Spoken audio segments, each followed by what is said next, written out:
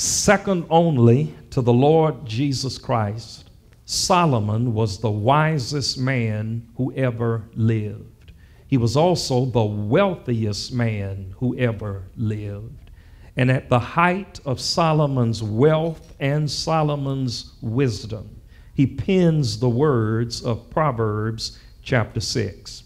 I want to take this book, this chapter, this collection of verses, and break them into two separate and distinct pieces. Because within the limited framework of these verses, Solomon warns us that periodically we need to put ourselves in check. Uh, I, I, I have met some people who will lie to you. Uh, what is worse is when you lie to yourself. Uh, there was one man, he, he kept telling the lie that he had a horse, uh, and he lied about having a horse so much until he went out and bought a saddle and didn't even own a horse. Sometimes we've got to look inwardly and check ourselves because at the end of verse 15, the warning is if you do not self correct, that ruination is on its way to your doorstep and it will be a ruination that is beyond repair. Such strong language is given in verse 12, really, all the way down to verse 19. So, because the language of the passage is strong, the language of the message may be a little stronger than normal, too. You all right with that? It might be a little stronger. All right, here's point number one for the deep saints. Here's point number one you ain't that slick. You ain't that slick. The, the, the problem with a whole lot of underhanded people, Burkini, uh, is that they think that nobody sees their underhandedness. When the reality is, God sees you, we see you if we have been given the spirit of discernment. Pa- parents, uh, I want you to continue to pray that your children will do well in school. That's important. I want you to continue to pray that your children will make right and righteous decisions. That's important. I want to recommend that you add something to your prayer life. Pray that God will give your children discernment. Discernment is when you can look at a thing that looks sweet, but see the sour on the inside of it. Discernment is when you can when you can tell the difference between heroes and zeros. Because sometimes they look the same from the outside. And you need some discernment. We all do. We need some discernment. And for slick underhanded people. They behave as though nobody sees them, nobody knows what they are up to. But the reality is, we see you, God sees you, and through the spirit of discernment, we're able to understand the intentions that are in your heart. Watch what Solomon says in verse 12 through verse 16 or, or verse 15. I, I, I love the fact that he started off calling names riff, raff, and rascals. this is the Message Bible uh, edited by Reverend Dr. Eugene Peterson, who just less than a year ago went home to be with the Lord. It is called a paraphrase, where he takes the Word of God and places it uh, in uh, modern language, easier for us to understand. And he says that riffraff and rascals, uh, if we were writing this in Alachua County in the 352, we would say trifling hood rats. trifling people. You know some trifling people. They trifling in person, they trifling online, always caught up in something. The text refers to them as riffraff and rascals. How can you spot them? Well, first of all, they talk out of both sides of their mouths. That means they will tell you one thing on Monday morning uh, and tell your neighbor something completely different around Monday afternoon. They are riff-raff rascals who talk out of both sides of their mouths. He presses it further. And he, watch this. He is so descriptive, Tam, in the language until what he is trying to get us to reveal, or what he is revealing to us, is that these riff-raff and rascals think that nobody sees them. But the reality is, anyone with discernment knows what you're up to. Because we can spot the symptoms. The first one is you talk out of both sides of your mouth. Because I heard you say one thing to me, and then you walked off, and I heard you say something completely different to the next person. And you act like I didn't hear you. What else do they do? They wink at each other, they shuffle their feet. Uh, it literally means they use their feet to send signals to other riffraff and rascals. They cross their fingers behind their backs. You can't trust nothing that they say. Watch this. Their perverse minds are always cooking up something nasty, always stirring up trouble. Riffraff, rascals, trifling do you know some? Is your one? Somebody says, our pastor has horrible grammar. Are you one of them? Are you a riffraff rascal? Here's why it is so important to preach this. Catastrophe is just around the corner for them a total smash up, their lives ruined beyond repair. See if I can help someone as I pass along, if I can cheer someone with a word or song, if I can convince a brother or sister when they're traveling wrong, the songwriter says, then my labor will not be in vain. Bottom line, you ain't that slick. We see you, God sees you, and through discernment, we can look through your false face and see the reality of your human heart. You ain't that slick. And I don't know who I'm talking to in here.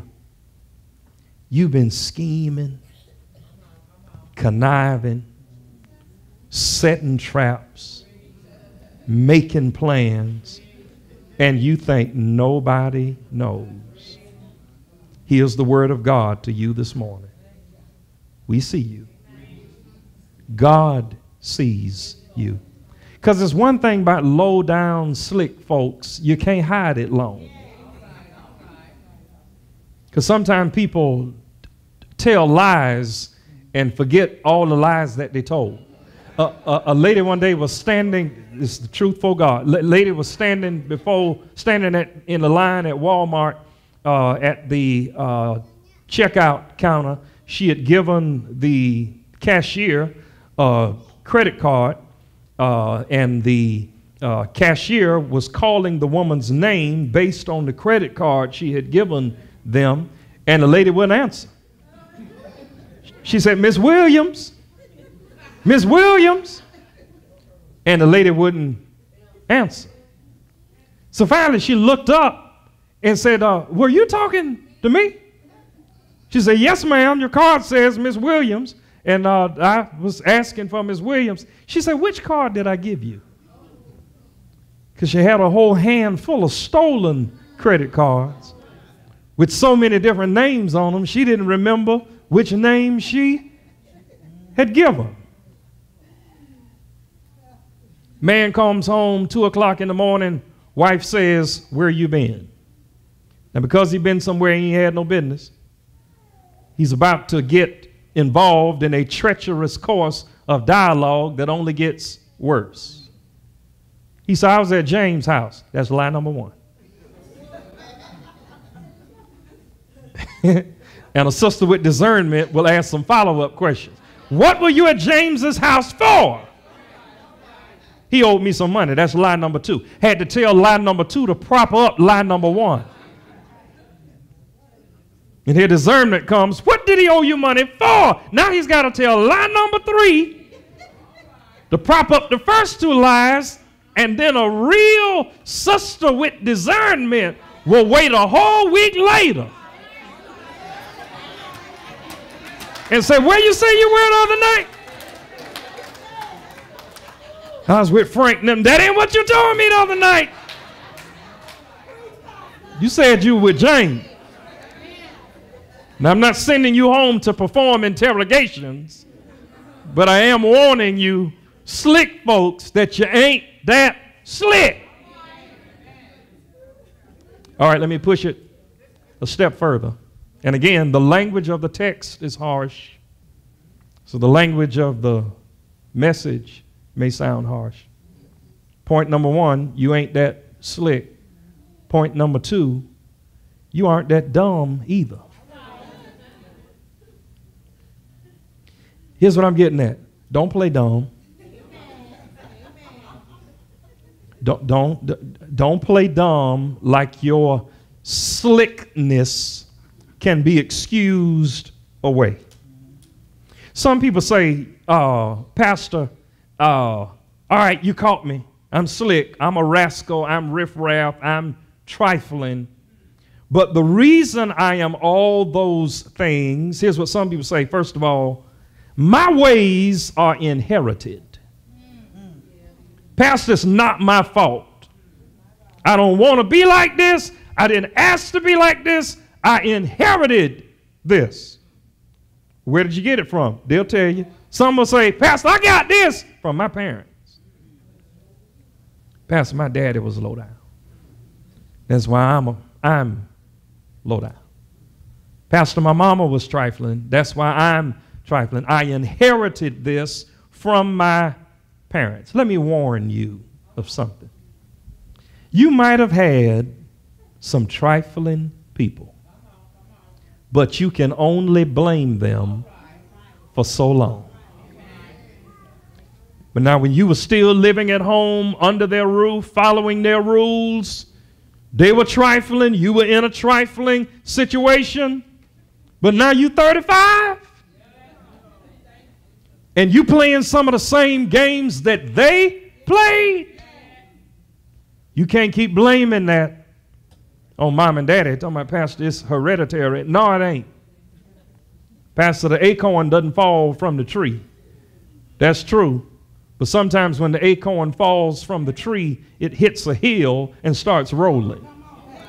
And what you need to do, even though you may have fallen from a poison tree, you need to hit a hill called Calvary and keep rolling until Jesus makes you better than what you have ever been.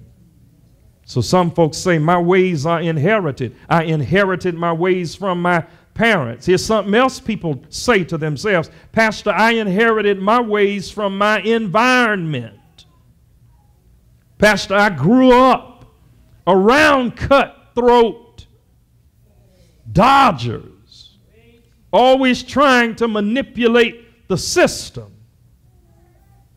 always cheating, scheming, conniving. Pastor, it's all I've ever known. It's the only environment I've ever been in. Let me warn you that you've got to learn that when life hands you lemons, you can make lemonade. You don't just have to sit there and suck the lemon. Some of us were dealt some bad hands, but you got to learn when to throw your hand in and get you some new cards. And you can't keep telling yourself that the reason I am the way that I am is because of the environment that I came up in. Here's a third misdirection or mischaracterization that people give about themselves. Some will say, Pastor, my ways are inherited from my parents or from my environment. Some will say, Pastor, my ways are inherited from my experiences. And here's what they mean by that Preacher, I didn't get this way overnight on my own. But because I got mistreated so much, I became cutthroat to keep up with the cutthroat people around me. See, Pastor, here's what some folks say. See, Pastor, you don't know how many men messed over me. And the reason I'm trifling now, Pastor, is because I'm going to get them before they get me. Because, you know, I, I, have been, Pastor, you don't know how, how many times I've been dogged out, how many times I've been cheated on. So, because I've been cheated on, now I'm going to be the cheater on earth. I'm going to get them before they get me. And you tell your, and, and you have developed a theology to the extent that you will sit up in church and say, you know what? Whatever I hear in church, I got a file that I'm going to put it in. But when I leave here, I'm going to do what comes natural to me. And church folks are just going to have to understand. Pastor, sometime I got to drop it like it's hot. Because I, I, I grew up in a household where you couldn't wear makeup, you couldn't go to the movies, couldn't go to the club. So, Pastor, now every chance I get, get it, get it, don't stop, get it. Get it. Riding your horse to the old town road. ride till you can't no more.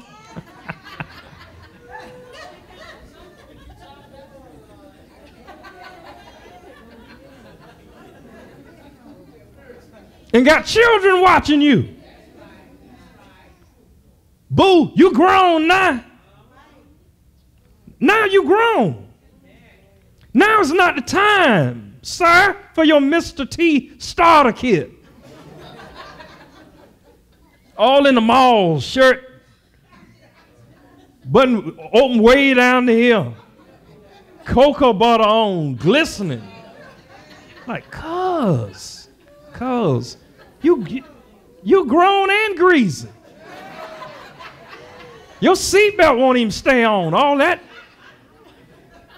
oil you got happening.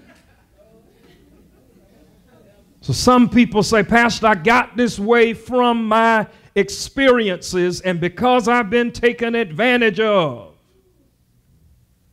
Somebody right in this room, right now, I don't know who you are. Think it's somebody right in here. I don't know who you are. You asked for a day off on your job, they didn't give it to you.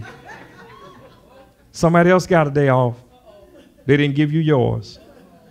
And you walk on those people's jobs every Monday morning saying that you're going to do any and everything you want on their dime. They're paying you to do one thing, and you say, I'm going to make all the personal phone calls I need to make. I'm going to steal all the copies I need to steal.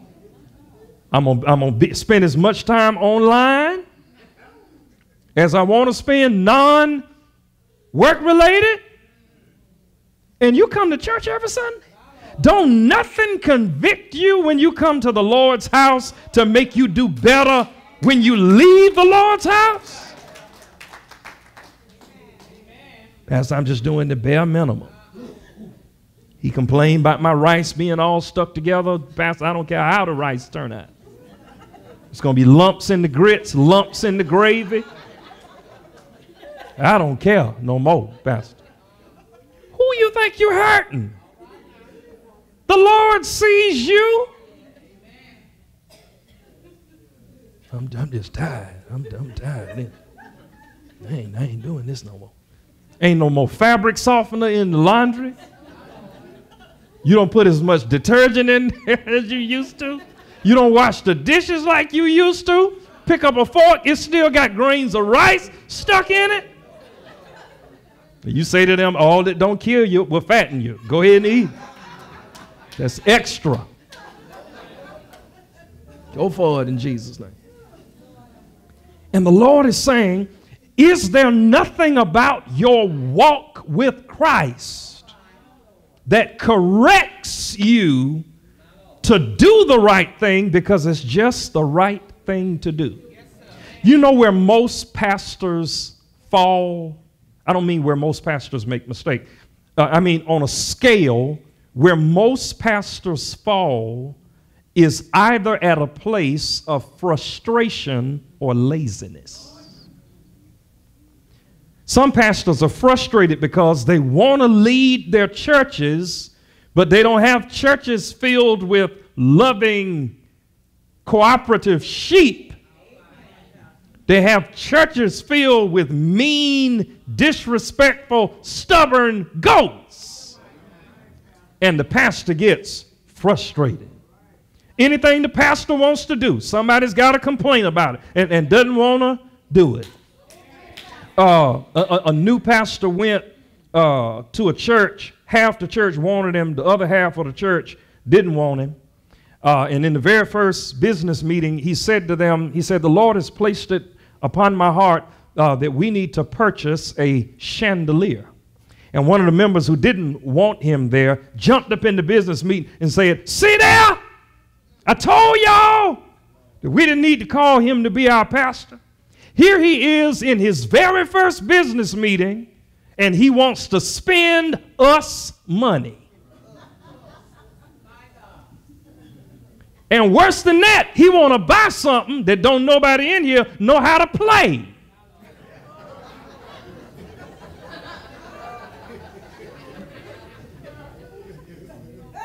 he said, "Man, we got enough instruments, but we could stand a little more light in this place."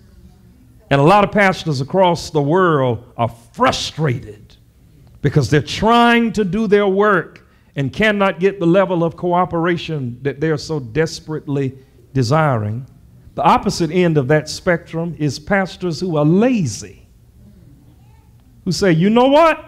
They don't want to follow my leadership. I'm going to show up every Sunday. I'm going to show up every Wednesday. I'm going to get a check. But I'm going to pull a message off the internet and read it to them on Sunday morning.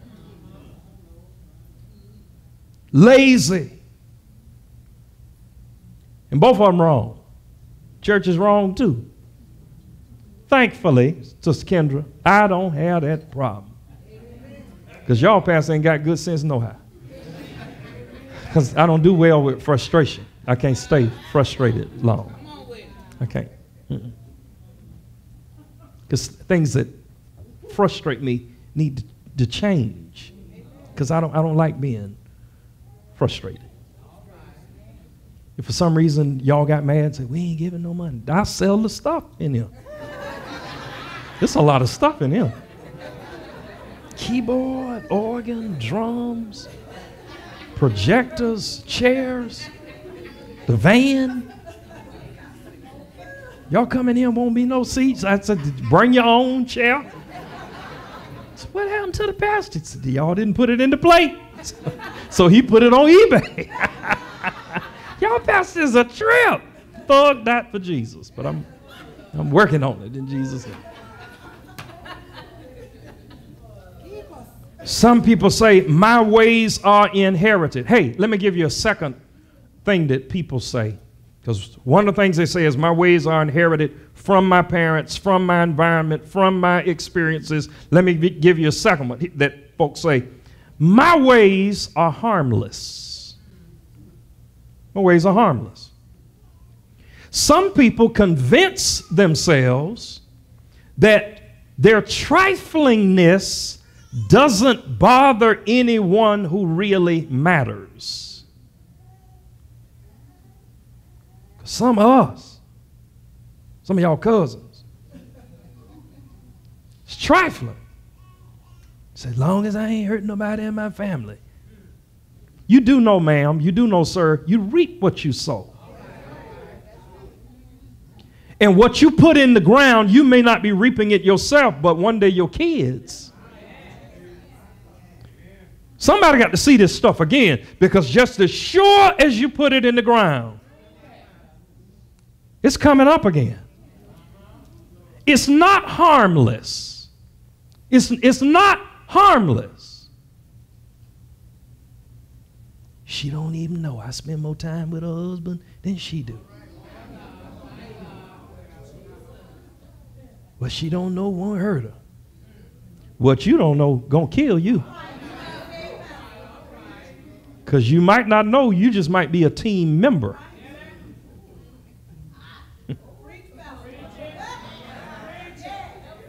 You, you, might just be one on the team. Because there's some stuff out there now that grandma's soap and washing powder can't get off. some, some, some folks in here grew up in the 60s and 70s. And if you had a problem in the 60s and 70s, they had a clinic. And you could go to the clinic and get a shot. It's some stuff now that doesn't even require the transfer of body fluids, just skin to skin contact. You don't know what you're bringing home. But you tell yourself it's harmless. You hurting a whole lot of people because their kids can see.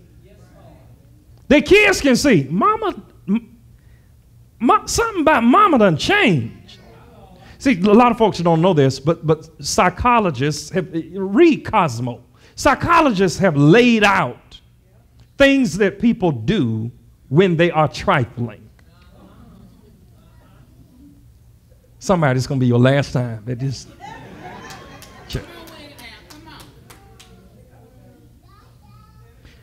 Here's one of the things they say when people are trifling and being dishonorable in relationships they join a gym.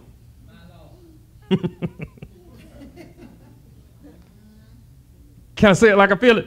Because cause, cause they don't want to be fined for the one they already got. But the one they're trying to get, they want to get fined for. So they join the gym. There's another thing they do. They start dressing differently. All of a sudden they come home. Husband say, where, where did you come from? Here's what she says with her mouth. Oh, I just picked this up. Here's what she's saying in her heart. this ain't for you. I did not buy this for you. I am not wearing this for you.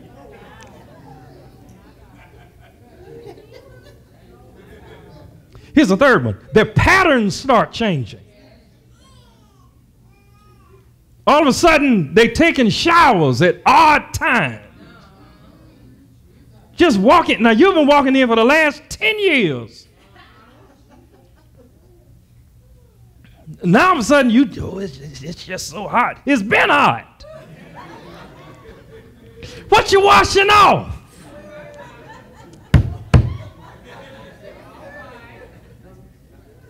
You think can't nobody tell, you think don't nobody know,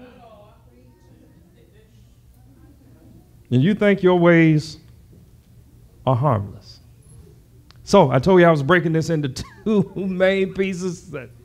Please come back next Sunday. First piece, you ain't that slick. Second piece, you are not that dumb either. And you can blame it on your ways you're doing the wrong thing. Some say my ways are inherited, others say my ways are harmless. Here's the last thing, and I'm done. I want you to know God sent me by here to tell you your ways are hated. So turn around. God hates what you're doing. Minister Lawson, for the longest time, I have been trying to preach from Amos chapter 1. uh, the language of Amos chapter 1 uh, is so direct and harsh until I said, Lord, that's, that'd be rough to, to preach Amos chapter 1. Because God tells them how they got on his nerves and how many times they got on his nerves and what he was going to do to them as a consequence. I said, Lord, that's, that's rough right there. He said, Well, Thor, look deeper into the text uh, and instead of preaching Amos chapter 1, find out what the people in Amos chapter 1 were doing that rubbed me the wrong way. That's what God said. What were the people in Amos chapter 1 doing that rubbed God the wrong way? Which means, Thorpe, tell your people what I hate. Why? So they can turn around. Pastor, if you never tell them what I hate, they will stay in it and it will lead to their ruination. But if you warn them, it can turn them around. I said, Lord, but will they come back next Sunday? He said, You let me worry about next Sunday. I say, I'm rolling with you, Jesus. I'm going to ride my Bible to the old town road and I'm going to read till I can. Have mercy, Lord. If you don't know that song, look it up when you get on. Billy Ray Cyrus is one of the other things. That some other guy named X, I forget the Nat was it Nas or Nas? X? No, oh, it's, well, thank you. Oh, don't say Nas. Don't say Nas. It's Nas. Nas X. And Billy Ray I love y'all so much. Y'all so gangstered out for Jesus. Nas. Nas X. I'm to bring him next Sunday. Sing that thing at church. I'm to switch up the words. Ride the Holy Ghost to the old town road. Pray till I can't no more. This, this is to be praise and worship next Sunday. Here's verse 16 through verse 19. God says, Thor, Tell the people what I hate so they will turn around. Take away all of the excuses they have been giving to themselves and encourage them to turn around. Here's verse 16 through verse 19, and I'm done. Here are six things God hates, and one more that he loathes with a passion. Here's the first one eyes that are arrogant. The King James Version says, a proud look. You ought to be confident, but there's a difference between confidence and arrogance. Confidence says, I know who I am because of who God has made me. Arrogance says, I'm better than you, get out of my way. And God says, I can't stand you with your dusty self because He created us from the dust of the ground. He could have made us out of gold, silver, platinum, diamond, rubies, emeralds. He said, No, I, am going to make them out of something to keep them reminded that it doesn't matter how high they get, they'll still be looking up to me. And anytime you are always looking up to God, you don't have time to look down on other people. Because every one of us in here is one decision away from your world turning upside down. I remember going through a period not of financial difficulty, but a period of financial transition, was also going through a major life transition and it affected my credit score and credit history, which was a problem I had never had before. But Josh, uh, uh, on one of my credit cards, it had a zero, all of my credit cards had zero balances. But one of the cards, my credit was so tight. One of the cards had a $29,000 credit limit. I could walk in any dealership, any uh, mortgage office, get whatever I wanted just by giving them my name. But some stuff happened. And all of a sudden, wouldn't nobody give me nothing. I shared with you recently, my own bank wouldn't even give me a secured credit card. That's a credit card that, in order for you to get it, you have to give them your own money first. I applied for a $500 secured credit card. That's where I hand them $500, say to them, put this in the account, and then give me a card to spend my own $500. They say, we ain't giving you that. Couldn't even rent a Redbox movie and keep it overnight.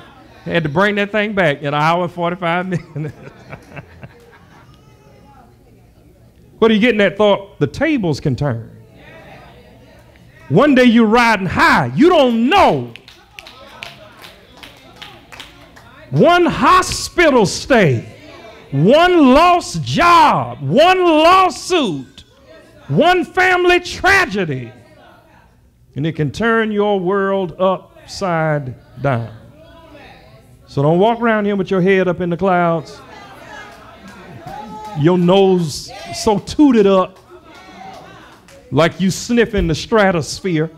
That's what's wrong with the ozone layer. You, you, you, you the cause of global warming. Global warming. You done sniffed up all the ozone. Nose so high. So the first thing God says he hates is eyes that are arrogant. That's a proud look. God says, I can't stand you when you walk around like you better than the people who are around you. Because you never know who you're going to need. You got to be careful how you treat people in here because you might break down out there and need a ride to the gas station. Be careful how you treat people. You don't know who God is going to use one day. God says he hates eyes that are arrogant. Then he says he hates a tongue that lies. God says he hates it. A lying tongue. He can't stand the fact that you will tell somebody something that is not the truth because you desire to mislead them. Here's a third one God says he hates hands that murder the innocent. People who hurt people on purpose as if people don't matter. Here's the next one God says he hates a heart that hatches evil plots. Some of y'all hang out with some people, and some of the stuff they say is so evil. And you wonder sometimes, where did they get that from? You say, I'm tired of these stray dogs and cats that hang out around my neighborhood. Well, you know, if you feed them a bowl of antifreeze. Huh? Do you know antifreeze, the technical or, or chemical composition, is called ethylene glycol? Uh, because of my years of working as a diesel mechanic, I've spent a lot of time around antifreeze.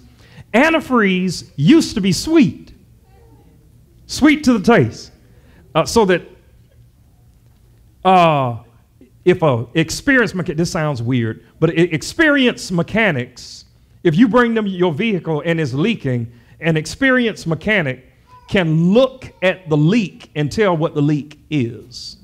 If it's a dark brown uh, leak, it's normally engine oil. Uh, if it's a leak with a reddish tint, uh, it's normally transmission fluid. If it's a clear uh, leak, it could be brake fluid. But if the, the uh, leak is clear and appears to have a watery texture, it could either be condensation from your air conditioning system uh, or it could be a leak from your coolant system. And what uh, experienced mechanics would do would be to stick their finger in the leak and taste it.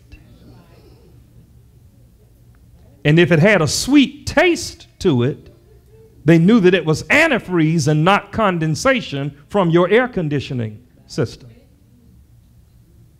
But people found out that ethylene glycol was poisonous. And because of that sweet taste, I don't know if you watch Snapped or Forensic Files. People would take ethylene glycol and pour it in a substance like iced tea, and the person drinking it didn't know what they were drinking and died. So now they have taken the sweetness out of ethylene glycol for that only single reason. So that people won't use it to kill folks. That means that so many people were killing folks with antifreeze until antifreeze manufacturers had to change the taste of antifreeze. And God says, What kind of mind do you have that you sit around and think up something like that? Putting Benadryl in your kids' food so they can go to sleep so you can party.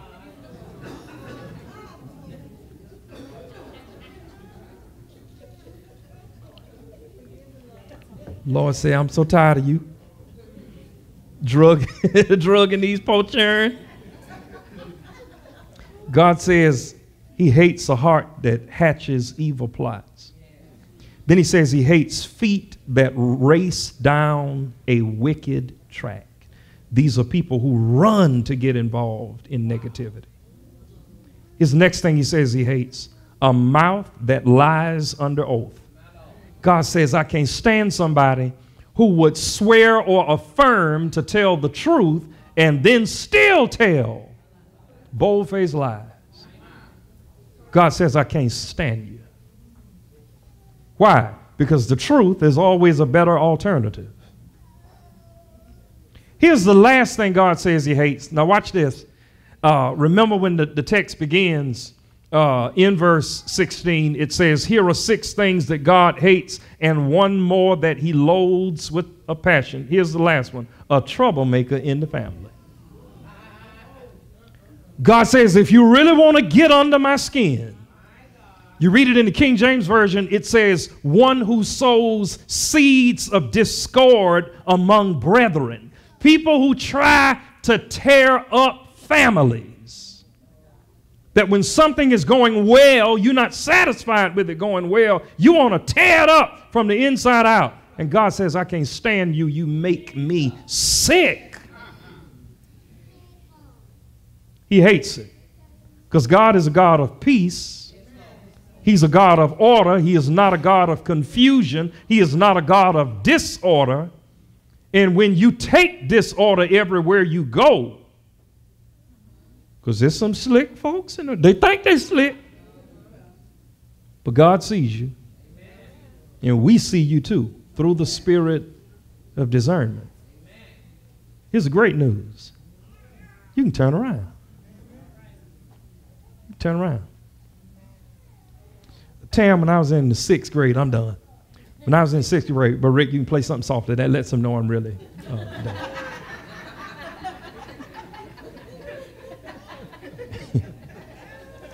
I was in the sixth grade, and I received what they called at that time a scholarship warning.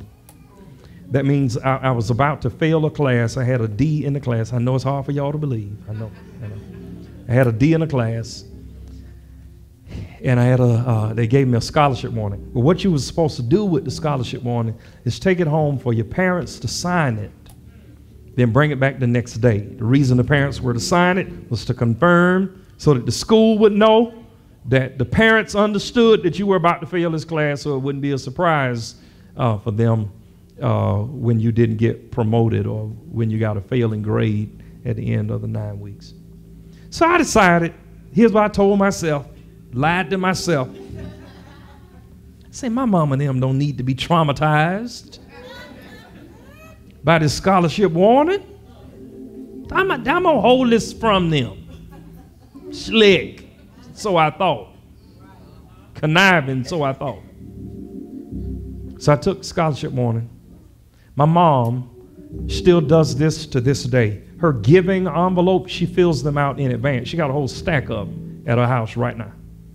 And on the bottom of those envelopes is where she would sign her name. And so I took one of those giving envelopes and I laid it next to the scholarship warning. And I decided I was going to practice writing my mom's signature. And so I started writing. And then it didn't look right. And then Sister Joanne, two things dawned on me. Number one, unless my mama had epilepsy, the way that signature looked, teacher wasn't going to accept it. Then it dawned on me, Sister Brenda, I was writing in pencil. Grown folks don't sign stuff in pencil. I'm like, you're trying to be so slick. You ain't slick. So then I say, well, what I'm going to do is, Brother Isaiah, I thought I knew something. I said, well, I'm going to write in ink on top of the pencil, then go back and erase the pencil, and it'll just leave the ink. Paper don't work like that. So now I got this paper all jacked up, half pencil, half ink, erase marks everywhere. And I still needed it signed. So finally I walked in there to her. I said, Here, Mama. She said, What's that? I said, Scholarship one. I got a D in a class. She said, What's this down at the bottom? I said, I was trying to sign your name.